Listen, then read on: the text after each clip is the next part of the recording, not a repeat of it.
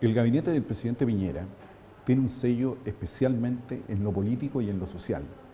En su diseño básicamente se centra en la configuración de un jefe de gabinete muy claro que es el ministro del Interior.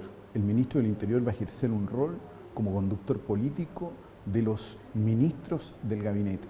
Y en este sentido, el refuerzo político del propio comité político de la moneda tiene dos características importantes que mezclan una alta experiencia en materias públicas, esto es, aquellos, eh, aquellos que estuvieron muy directamente con el presidente Piñera durante estos tres años y se incorporan además ministros como el ministro de Desarrollo Social que le van a otorgar esa prioridad en el sello característico de este nuevo eh, gobierno.